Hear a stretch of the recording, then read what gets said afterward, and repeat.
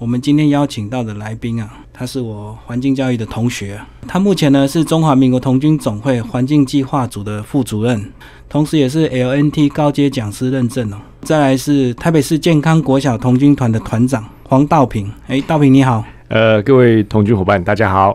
我们今天要聊童军与环境教育，那是不是先跟我们讲，你觉得环境教育到底有什么样的重要性？不是就是环保吗？我想我们现在谈的环境教育已经。不仅仅只有环保了哈，那更不会只有我们以前认知的这个所谓垃圾回收啦，好，或者是这个环境清洁的议题。我们现在更多在谈的是，除了保育之外，我们的教育该怎么做？还有我们的富裕该怎么做？那这个都是我们现在在谈的三个大的轴线。那是不是先简单谈一下童军的领域非常多？那包括幼童军有唱跳游戏啊，那童军有很多技能工程升级。那你为什么会特别对环境教育这一块有兴趣？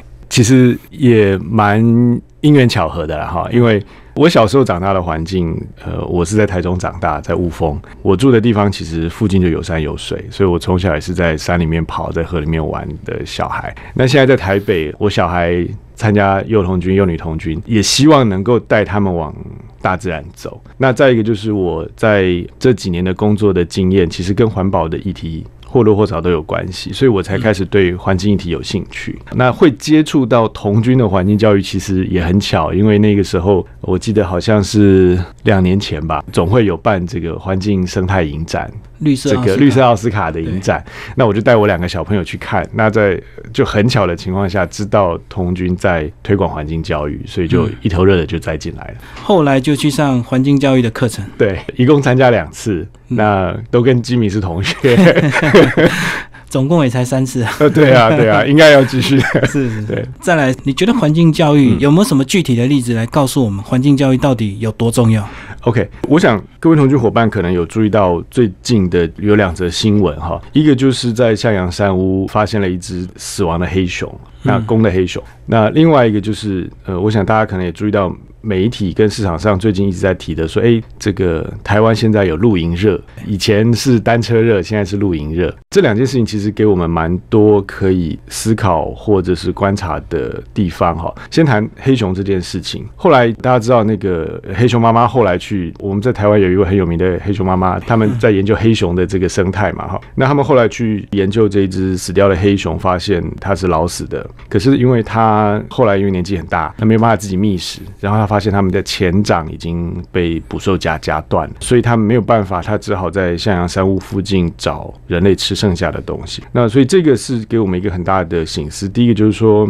捕兽夹伤害了野生的黑熊，那这个对于野生动物的栖地的影响，其实这个是值得我们去讨论的。那另外一个就是说，它开始接近人类，其实对我们从事山林活动的人来讲，其实是有危险的。哈第一个就是它的生态，它的生活习惯改变；第二个，我们不确定它会不会攻击我们。那这个其实对环境来讲都是一个问题。那另外一个，我们提到就是说露营，大家都很疯露营哦。那当然，露营对童军来讲也是一个非常重要的事情哦。最近媒体上也在提到说，有人在抱怨说，呃，现在民间的露营场都超收啦，呃，露营的品质变差了哈。其实我们比较担心的问题是说，当供给小于需求的时候。业者会为了要增加收入，那我们担心的是露营场会越来越往深山里面走。对，那这个就会对环境造成比较负面的影响。如果我们没有正确的环境保护的观念的时候，我们可能会把一些我们的污染物、我们的这个我们生活上需要的东西带到山里面去。我想这个都是我们必须要告诉我们的同军伙伴，怎么样去正确的保护我们的环境。那再来是不是跟我们谈一下这个世界童军总会它是如何的在推动童军的环境教育？其实整个环境的议题，在我们从大的世界局势来看了哈，联合国他们开始推动这个环境保护的运动所，我们讲 UNEP，包含我们知道的京都议定书这一类的环境保护或是富裕的议题之后，大概在零五零六年的时候，开始世界童军总会讨论环境教育这件事情，正式推动环境教育。就是我们现在讲的世界童军环境计划啊，WSEP 是二零零八年，中华民国童军总会是二零一零年跟世界童军总会签约，成为推动世界童军环境计划的我们讲的 NSO 之一。从二零一零年开始，我们正式的加入这个行。所以世界童军总会其实对于这个环境计划是有一套很完整的方法论。那它有五个主题，有五个轴线哈。那从这边来衍生童军的环境教育。刚刚你讲的五大宗旨是什么？呃，世界童军总会的环境计划里面哈，它分成五个宗旨。第一个就是人类跟自然系统要拥有干净的水跟空气。第二个呢是要有足够的自然栖地给我们所谓的本土的物种、原生物种。那第三个就是减低对于人类跟环境有害的物质的风险。那第四个就是采取最适当的环境的措施、食物哈。然后第五个就是对于环境危害跟天然灾害的应变要有所准备，这是它的五大目标。所以，我们中华民国的童军总会是如何来落实这五个宗旨？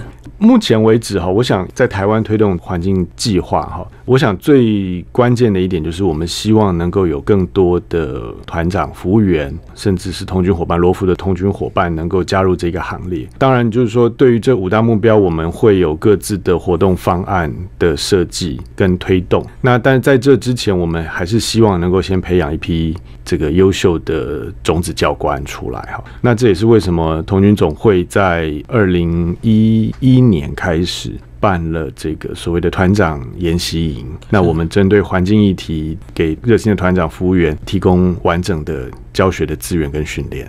道平，你刚刚解释完了是这个五大宗旨哦，是在我相信应该有配合这个宗旨，有做一些所谓的进程或者是专科章、技能章。其实世界童军总会对于这个环境章哈有新的做法。或许我们大家还记得，以前我们有所谓的熊猫章，在讲环境保护跟生态保育。那新的章，以台湾来讲，哈，二零一五年我们会开始推动。那推动的方式是旧的制度，也就是熊猫章跟新的环境章会在二零一五年会是呈现一个并行的状态。那二零一六年我们就会采新制。这个技能章或是专科章呢，要取得的做法呢，跟以往也不一样。以往我们可能知道的就是通过这个专科章考验。或者是类似像考验营的方式来取得。那现在新的做法呢？我们会强调童军伙伴除了学习吸收的成果验收之外，针对童军就是十一岁以上的童军伙伴，我们会希望能够完成一个服务计划。那幼童军伙伴小狼们，我们希望的是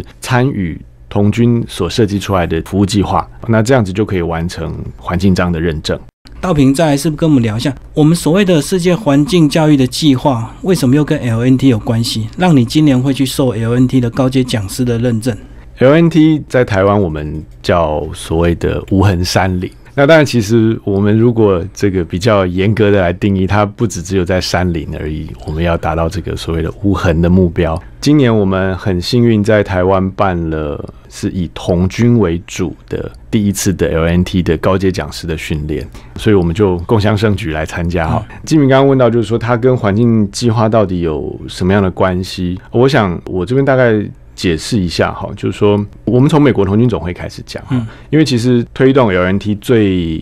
积极的是 BSA，就是我们讲的美国童军总会。那他们大概在九零年代开始把 LNT 的观念正式的带到童军运动里面来，所以他们有专门针对童军设计的无痕山林教案，那有他们自己受训的体系。所以这一次我们采用的训练的方式是用美国童军总会。那我们这一次的讲师也是从美国童军总会派过来的讲师，他跟环境计划的关系其实是非常密切的。因为我们在环境计划里面谈到非常多的包含这个降低有毒有害物质对环境的影响啦，保持野生动物原有的栖息地啦，哈，这些都是跟 LNT 有非常直接的关系的哈。那在 LNT 的宗旨里面，我们有所谓的七个宗旨，我们叫 Seven Principle 哈，有哪七个？我现在大家很快的跟大家讲一下哈。第一个就是要有完善的事前规划跟准备，第二个就是在这个高耐受度的地面呢行走或露营。那第三个就是妥善的废弃物处理，第四个呢是要保持环境原有的风貌，第五个是降低用火对环境的冲击，第六个是尊重野生动植物，第七个是为其他的使用者着想。那我想很多童军伙伴都问了很类似的问题，这里面呢对童军来讲最有争议性的就是降低。用火对环境的冲击哈。我想，因为很多童军伙伴、团长、服务员们都受过这个木章的训练，或是木章的基本训练。我们在童军里面有一个非常非常重要的活动，就是露营跟萤火。那这里面其实都会用到火。其实这个矛盾跟冲突，在美国童军总会也一直被提出来讨论，到底该不该有萤火？那或者是说，生火的方式到底怎么样是正确的，可以对环境的影响降到最小？那我想这一类的议题呢，在我们这次的受训里面，在 LNT 的训练里面，一直都被广泛的讨论，甚至这里面会包含，就是我们到了野外去，我们看到了特别的石头、植物。昆虫，我们是不是应该把它收集起来做成标本？那我想，这个在我们现在在谈的 LNT 的观念里面，跟以前我们在童军的做法里面，包含在美国，在全世界这些议题都一直被广泛的讨论。举例来讲哈，我们这次就讨论到，就是说，诶，你看到漂亮的石头、特殊的动植物，那你应该怎么做？我们现在的做法都是用照相的，然后或是把它画下来。然后把它带回来，或许跟以前我们说，哎，我们讲的标本的专科章、收集的专科章，我们要看到标本，我们要看到收集品。那现在或许在未来，我们的做法会有一些调整。那我们希望对环境的影响能够降到最低。是不是应该讲说，如果你是有所谓的教学目的，适当的收集是难免的。那如果纯粹是欣赏，或者是说人在买卖石头的，这个就是不被允许的。我想这个是以我们现在的观念，我们是不允许的。对，那但是如果是说以研究为目的，因为这次我们在训练的时候也提到几个跟我们所要做事情的目的是有关的哈。其实这次很好玩，就是我们提了很多问题问美国的讲师，美国的讲师经常给我们的答案叫做 “it depends”，就是要依状况而定。因为有些状况真的是很难取舍，比如说他这次就提到一个问题，他说当你要去救难的时候，那你会对环境造成一些破坏，比如说在山上要做。这个直升机吊挂，或许你要清出一块空地，对，那这个很显然就跟 LNT 的的原则是抵触的。但你要以何者为重？我想这一类的议题，我们是一直有在讨论的。那透过这个讨论的过程中间，我们这一次也从他们的身上学到非常多的经验。比如说，当我们在山上如果迷路，我们需要取暖，那我们要生火。可是，在那种情况之下，我不可能有一个所谓的焚火台，或者说很安全的生活的场地。我可能甚至为了要这个。救人，或者是保持自己的体温，我别无选择，我就是在野地就要生活。嗯，那怎么样的做法是对的？我想这里面有非常非常多的议题是值得同军伙伴们一起来动脑来讨论，是一个蛮有意义的训练。所以就是讲师在当下很难告诉你绝对的对或错，就是依状况而定。对，那七个原则是放在黑板上的，那我们只是要去思考说，怎么样呃能够降低。对环境的冲击，因为如果你遇到比较不认同我们同居运动或者是无痕山林这个概念的，他可能就是讲一句：“那你不要去，就绝对无痕。” 因为我们再怎么样做，也很难做到无。是是是，但我想人是大自然的一部分了。嗯，尤其像我们现在我们的团的小朋友，大部分都是在台北市区活动居多。那以我们团来讲，我们都希望说能够带小朋友接近大自然。所以，怎么样带给这个小朋友正确的？在户外活动的一些方法跟要求，我想 LNT 是一个非常好的一个 guideline。我们讲的 guideline 就是说是一个指标性的一个要求。那让我们的小朋友，不管小狼小歪也好，童军行义罗浮也好，都是我们在户外活动的一个很重要的准则。在道平是帮我们解释一下，当初到底是先有世界环境教育计划，还是先有 LNT？严格来讲，是先有 LNT 的观念那当然，LNT 这个观念，其实在最早萌芽是在七零年代美国开始萌芽，因为美国人也发现他们在户外活动的人口越来越多，所以对户外造成的冲击了越来越大，所以他们就开始有一些民间的组织开始发动类似像 LNT 的这种观念，所以从七零年代开始萌芽。但是 LNT 这个组织正式成立哦，是在九零年代中期。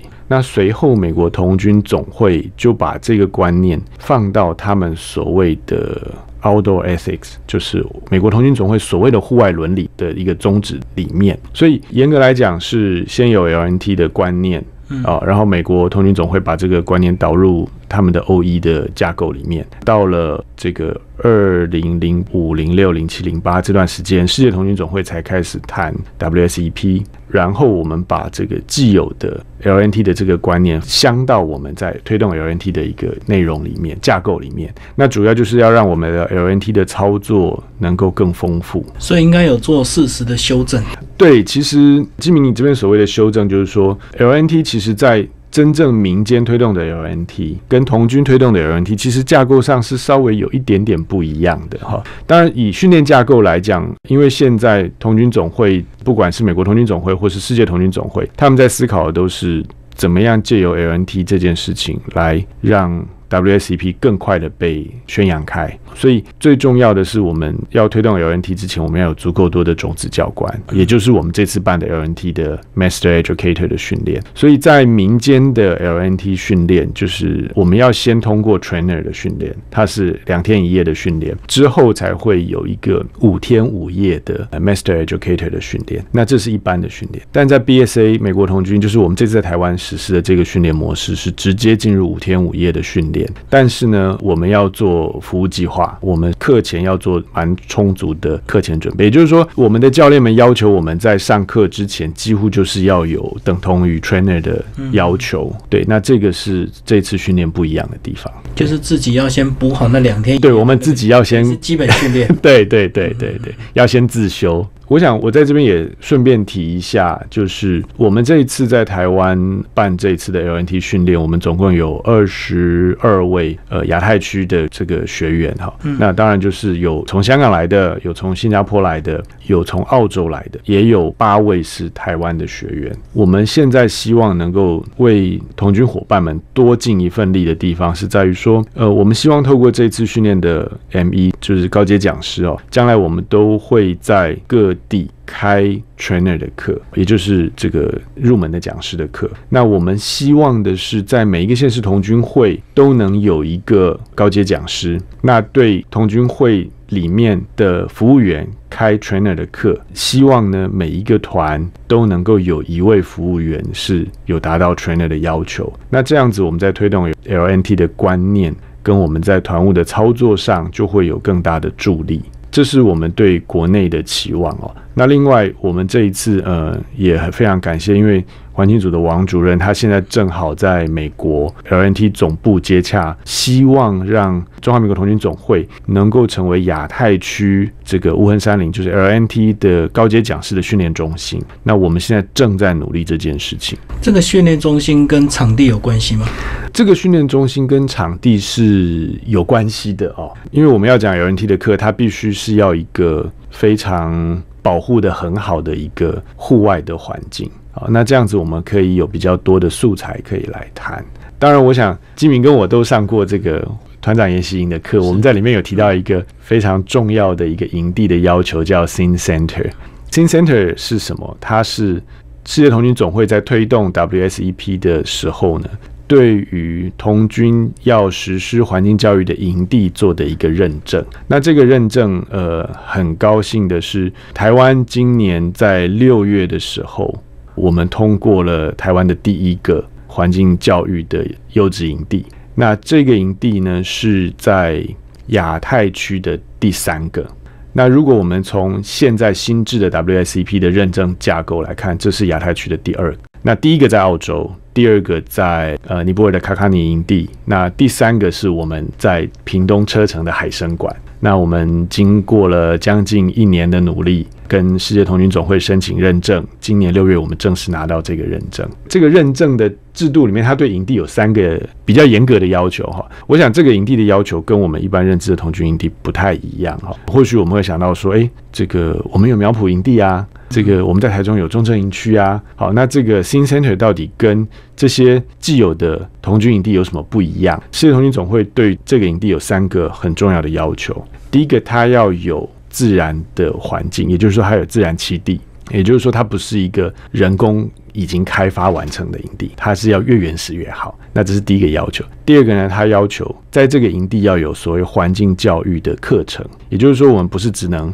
把一个营地就放在那里。我们要为这个营地安排一系列的课程，让同居伙伴来玩的时候，还可以学到很多环境教育相关的知识。那第三个就是要有妥善的管理。那另外就是说，我们在接受了世界童军总会的认证之后，第三年起。他们会对这个营地做稽核跟查核，就是我们有没有达到这三个要求。如果没有的话呢，童军总会是有机会或是有权利取消这个营地的认证。那很荣幸，台湾现在拿到第一个在这个海参馆营地的认证。接下来我们希望能够继续在台湾成立第二个跟第三个。我们目前在努力的是苗圃，苗圃现在我们希望。比较多的这个力量是放在教案的规划哈，我想苗圃跟海参馆比较大的差异是在于说海参馆因为它是一个研究单位，那它后面有一个很好的研究场域，在那边有很多的研究人员，所以他们对于海洋生态的研究跟他们可以讲的课，其实那个教案是比较完整的。那苗圃是。就是全台湾的这个童军伙伴都非常熟悉的很重要的童军营地，但我们希望接下来能够跟包含可能是阳管处，就是阳明山国家公园管理处的志工们，或是研究单位，能够有比较多的合作，把教案的部分妥善起来。那我们就可以达到这个要求，所以它本身它的自然生态是合格的，是合格的，非常的丰富，所以就是差在教案还不够。对，这是我们大家要一起努力的地方。那中部有吗？中部我们现在还在讨论。你刚刚说我们南部啊，就是在海参馆已经成立了所谓的新生态的中心啊，那再来是不是跟我谈一下，如果童军团我们带到海参馆，它可以玩什么、学什么、体验什么？我想我先解释一下哈，就是说这个海参馆，可能大家会以为是前面的那个水族馆哈。对，其实海参馆很大，它有分两个部分，一个就是我们平常去参观有很多水族馆的那一个部分，那另外一个是我们所谓的后场。那后场是研究单位在使用的，一般来讲，一般的民众是进不去的。这一次呢，透过这个 Sin Center 的认证。我想，我们的同军伙伴非常非常的幸福哦，因为我们现在可以深入到这个研究人员在使用的这个场域里面来录影，来体验我们所谓的环境教育啊。刚刚吉明哥问到就是说，我们同军伙伴过去可以做什么活动？首先，第一个，这一块地非常的大，它有非常好的露营场地，所以我们可以在那边露营，可以办营火。那另外呢，因为它是研究单位，所以它在后面有很大的一个海洋生态富裕中心，这里面会教大家怎么去做珊瑚的富裕，让大家实际可以操作，怎么样把那个要富裕的珊瑚苗种在我们的那个培养基上面。那过了一段时间之后，我们再把这个珊瑚移到海里面去做珊瑚的富裕。那这是一个很特别的活动。那当然里面有很多海龟。那这个海龟有一部分是因为受伤了被送进来治疗，那也有可能是被弃养的。那但是他们都会在一个富裕池里面，所以大家可以去观察海龟。那另外就是我们现在在这边有一块很珍贵的宝地哦，是台湾现在仅存的最好的陆蟹的栖息地。这个栖息地就在我们后湾的旁边。那后湾的地形很特别，它是一个。内湾哦，就是说它外面有很完整的这个像一个夹角一样把它包起来，所以在这个后湾里面其实是有风没有浪啊。后湾的后面沙滩后面就是我们的路蟹栖息地，所以在夜间我们还可以观察路蟹啊。就要季节对的话，我们还可以观察路蟹，因为后湾这一块风平浪静的地方，可以让我们从事水上活动。那我们安排了这个海上独木舟的训练，我们安排了海泳的训练，我们安排了这个一般我们所谓的浮潜，但实际上应该叫浮游啊这些活动的训练。那这些呢，我们在这个童军团到现场的时候，我们都会安排教练是有认证的教练来带大家怎么样操作这个独木舟。怎么样做海泳，还有一些安全的训练，这些活动我们都会安排。那另外就是因为它是一个在沿岸嘛，哈，就是这个恒春车城海边，所以这边有非常丰富的潮间带的生态可以做观察。所以在这边就除了呃我们一般人认知的童军的活动之外，呃海生馆这边有非常完整的师资，可以带着大家做专业的海洋环境跟海洋生态的认识教育。跟富裕，所以我想这是一个跟以往我们认知的童军活动可能不太一样的地方，就是我们的知识面的传授更丰富了，而且就在海岸边上。那我们曾经带着我们的童军伙伴去这块营地，那呃，我们有非常不一样的体验，因为那边晚上没有光害，满天的星斗。那晚上呢，这个同军伙伴在那边是听着海浪睡觉。我想这样的感觉，其实对于我们在都会区的同军伙伴来讲是非常非常难得的。到那边就是交通的问题。是的，我们现在呃，如果以北部下去，我们有两种方法，一个就是坐高铁，然后再坐这个垦丁快线的接驳到海参馆。那另外一个就是我们之前做法，就是直接从台北租车，就是包游览车下屏东。那当然路程上会花掉蛮长的时间，所以我们会建议就是早一点出发。可以安排三天两夜或两天一夜，三天两夜我们是比较建议的。对，所以从高铁左营到海参馆还要多久？大概一个小时。如果说我们从台北包游览车下去，我看到车程呢将近要五个多小时哦，搞不好塞车要六个小时。是是，那肯定不会只去两天，甚至三天我都觉得不够。是的。那如果去很多天，它周遭还有什么相关的景点可以去做结合？OK，如果我们针对的是环境教育这样子的童军活动的设计，我想就是恒春半岛这附近有蛮多的地方可以让大家去参观。因为第一个我们知道，垦丁国家公园它是一个国家公园，所以它本身的这个生态啦、环境是保存的非常好的哦。那在这附近，除了我们知道的恒春古镇之外，在海参馆旁边有一个龟山哦。那这龟山其实上面，如果我记得没错的话，上面有一个牡丹社事件的纪念碑。嗯哼。另外就是。往山上往反方向走哈，就是往海的另外一边走，往山上走。还有两个很有名的地方，一个就是林务局所管的这个双流的森林游乐区。那我想双流这边也有非常多的。森林跟生态可以看，也是一个非常好的环境教育的场域。那另外就是在历史事件上，这个地方其实很有名，就是我们所谓的牡丹社事件。所以这里面其实也有蛮丰富的人文历史的素材，可以让大家去发掘。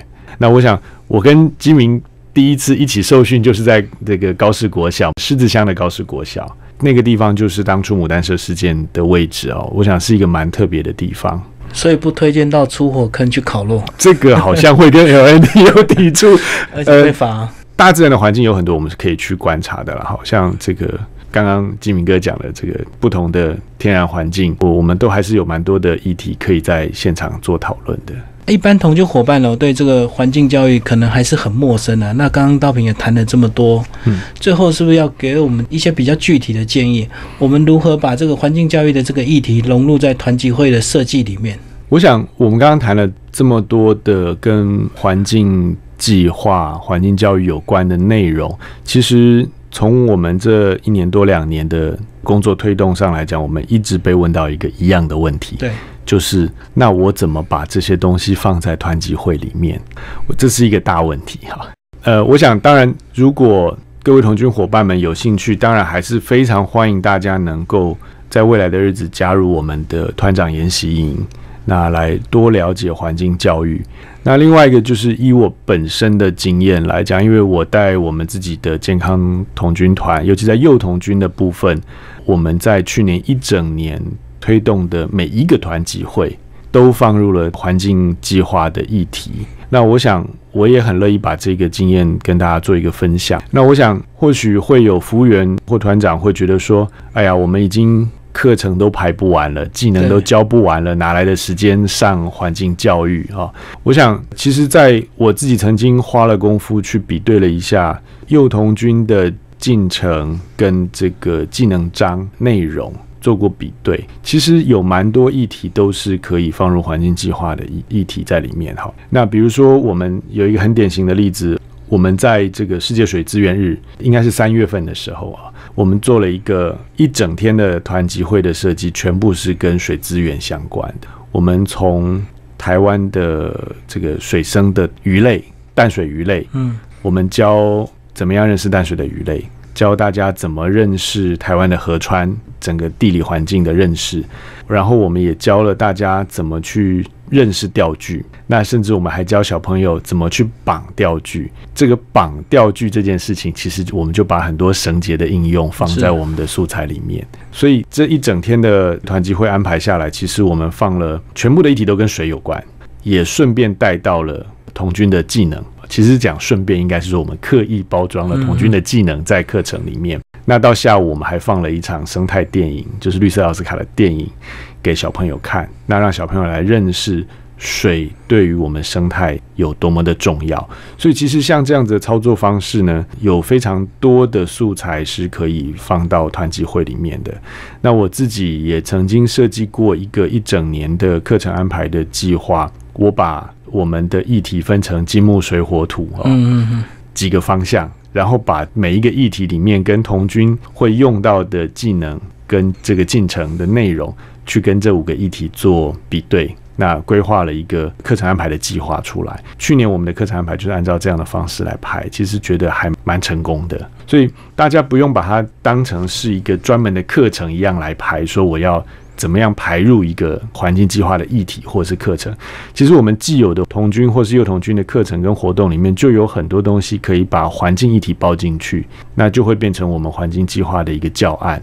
我想这一个部分是值得大家一起来努力来设计的。刚道培你讲这个团长言行，他的时间有限啊，那你们有没有一个什么长期的规划，就是所谓的教案的分享或者是交换中心？我们一直想要推动这件事情，因为刚刚我们也有提到，就是说我们希望大家都能够多了解。环境计划，那我们也希望说能够把环境章的推动能够做得更顺利，做得更这个有效果。那这里面其实就会牵扯到一个我们大家要一起努力的问题，就是到底要怎么样设计好的教案给我们的同军伙伴，或者是说服务员们要具备什么样的能力或是条件，才可以来设计一份好的教案？甚至我们也会问说。那谁来告诉我们什么样的教案是好的教案？我想这一些从大的制度架构上，我们必须要努力的地方还很多。那这也是我们希望能够号召大家一起来参与这个环境计划推动很重要很重要的一个方法。现在我想我们能够做最快的方式，就是我们能够在网络上多分享我们推动环境教育的。经验，或者是想法。那我想在脸书上，我们有专门讨论环境计划的社团，也有团长言行专门的社团。那我们在上面都会分享一些环境计划，我们授课或是我们排团集会的经验。因为如果你是办游戏唱跳的真人哦，可能七十个、八十个、一百个都爆满。是，可是如果你要做所谓的环境教育的真人，可能免费的人家还不太想来，不容易。那在我觉得最大问题是说，新家长他不了解，或许他在团里他讲话也比较没有分量，他即使他个人很有兴趣，可能也推不动。那如果是以旧家长或者是说所谓的资深团长来讲，他可能童军技能他本来就很强，是，所以他光是排传统的团集会就排不完了，是，他不需要额外再花时间去了解这整个环境教育，是，所以就会造。造成说旧的不想推，新的不知道怎么推，是，所以我想这个也是我们在环境计划组里面，我们几个职工们，我们经常在讨论的问题。真的要推动一个新的制度是不容易的。那我们现在能做给大家最多的资源，就是我们分享我们已经做过的教案，然后让大家来操作。我想这个应该是最快的。当然，我们希望的是说，大家都能够设计属于自己团里面的活动。因为毕竟每个团都有每个团的特色，是那家长可能也都各有专长哈，尤其是我讲家长服务员可能各有专长，所以其实可以针对自己团里面的目前的人力状况，可以做一些调整。那我想我们现在可以给最多的支持，就是我们把整个架构让大家先弄清楚。再，我觉得还有另外一个问题，就是推这个很无聊啊哈，有没有人这样跟你反映？当然，它不像唱跳。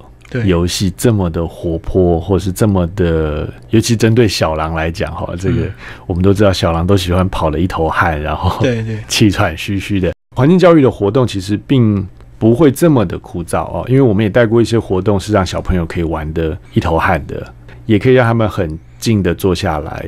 比如说，我们有让他们静静的坐下来聆听大自然啦，哈，对对，这一类其实这种体验活动其实都是可以做的。当然，其实我想，我必须要再回到我们童军最基本的这个诺桂明的这个领域里面来看这个环境教育这件事情。其实，呃，我们一直在谈环境教育，我们说我们要让大家知道环境有多重要。其实这是一个面向，另外一个面向，我们谈比较学术一点的，或者说精神层面一点的，就是说我们要建立童军对于环境的责任。我想，如果我们今天谈的是责任，童军的责任这个议题，我想大家就已经很熟了。对。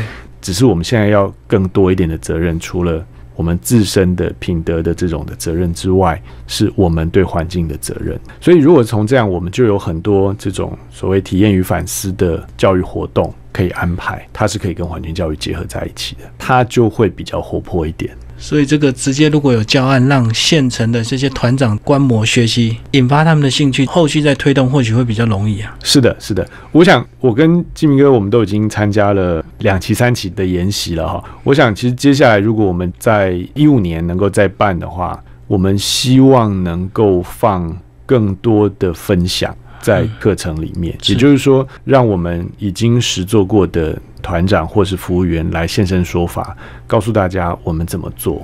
那也可以把一些过去其实我们曾经玩过的游戏再重新拿出来讨论。但是其实里面我们可以放入环境的议题。我想这个是未来我们可以努力的方向。刚刚道平已经聊了，你这个推动环境教育，有包括你也把整个环境教育融入到你们自己团的团集会设计里面。是。那最后是不是跟我们分享你们团的回响跟反应是什么？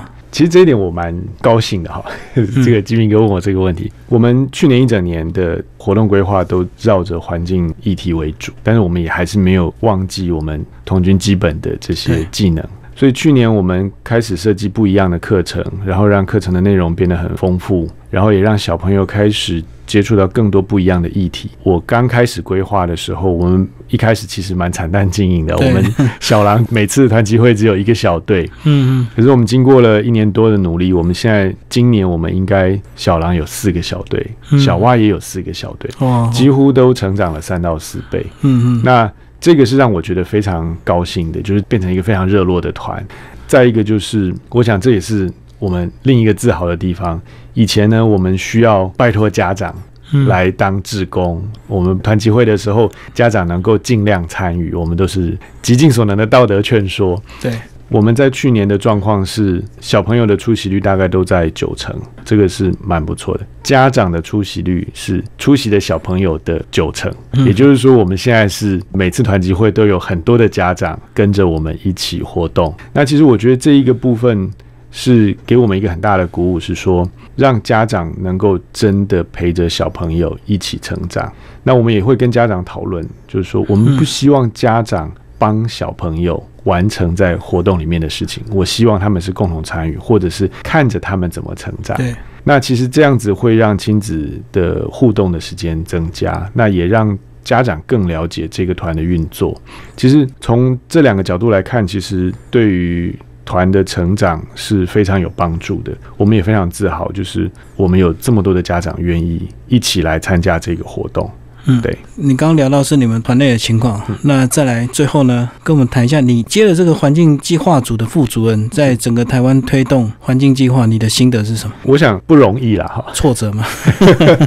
挫折倒不至于，但我我只看到我们有更多要努力的地方，当然也是要。多跟童军的前辈们多请教的地方。呃，我小时候是幼童军，然后嗯，现在因为自己的小孩子参加团的活动，所以我又重新回到童军团来。那其实离开有一阵子了。我想，我们希望能够多努力的地方是说，怎么样能够让这个议题更受重视，是，然后有更多的活动或是教案，能够协助团长或是服务员们，大家一起来丰富我们自己的团集会，然后让这个。环境议题，或是我们的团集会的内容更丰富。那我想，我看到的更多是我们要努力的地方。那我也希望接下来的时间能够有更多的机会，能够办一些讲习啦，或是分享会，把我们这一段时间，不管在参加国际会议上面了解到的国际上的各国童军总会的做法，或是我们自己的经验，能够跟团长或是服务员们。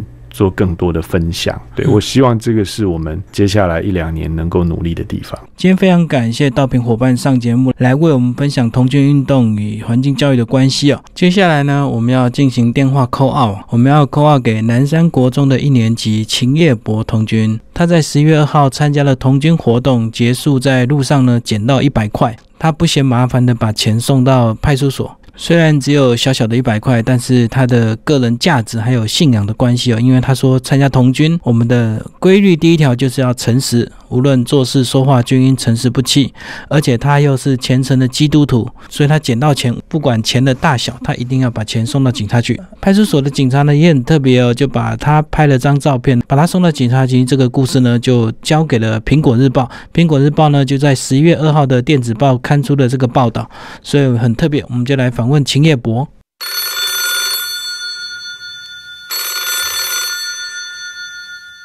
科科科二连线。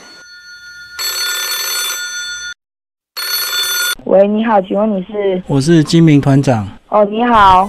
你记得我吗？我们在平西国中有见过面。哦，忘了。哦哦，我知道你是谁了。我想到了。那天是发生什么事情？那天哦，就是我在要回家的路上捡到一百块啊。然后你先告诉我日期。二号。十一月二号，礼拜天下午，你要回家，然后在哪边的地上捡到一百块？兄弟饭店。我跟我妈在马路的时候走到一半，一张钱飞过来，结果我再捡起来了。然后听说你要送到警察局，你妈妈觉得很麻烦，对不对？对啊。那后来你怎么跟你妈妈说的？我没有跟我妈说啥，她就以为我只是在跟她开玩笑啊。然后后来我就回家，然后就去买东西啊，然后我就拿去了。你是回家再去你家附近的警察局？对啊。哦，那为什么会有记者知道呢？啊，不知道。你拿钱给警察的照片，不是还有被拍到吗？哦，对啊，那警察拍的。哦，警察拍的，然后他在跟记者讲，是吧？应该吧。那你读什么学校？南山。听说你们南山的童军团也有表扬你，对不对？对啊。那为什么你会觉得一定要拿过去不可呢？不会觉得很麻烦吗？不会，不知道哎，就拿来相信你怪怪的。嗯哼，跟你参加童军有关系吗？应该有吧。因为童军的诺言跟规律吗？嗯。警察贝贝在帮你做笔录的时候，他怎么说？旁边有一个人，他就问我说：“你为什么拿来？”然后他还问我说：“如果再更多吗？还是太少了？你会怎么处理？”哦，他说：“如果钱很多的话，你还会不会拿来？”会啊，他就问我这个。那后来回家之后，你怎么跟你妈妈说？因为他那时候不知道你自己跑去警察局，对不对？我没跟我妈说啊，是我妈接到警察局的电话。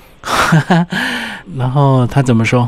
我妈没说什么，她说：“哦，我以为你不会拿去，就你还是拿去了。”所以警察是打电话给你妈妈说有这件事情，说你儿子很乖，这样子是吧？警察是跟我妈说那个摊在那个苹果的那个电子刀。哦，那就是警察把你的照片跟你的新闻给苹果，然后苹果帮你播出来，然后抛在 FB，我看到了，FB 有分享苹果的。我们老师啊，小学老师。然后从什么时候开始参加童军？老爹去台东军医的时候，嗯，然后你在那边念国小，国小军医国小，嗯，然后那时候老爹就是要刚成立军医的童军团的时候，我就加入了，然后再来现在就去南山国中，对，回来台北，好吧，那就这样子喽，好，好，谢谢，拜拜，拜拜，好的，我们节目时间就到这边喽。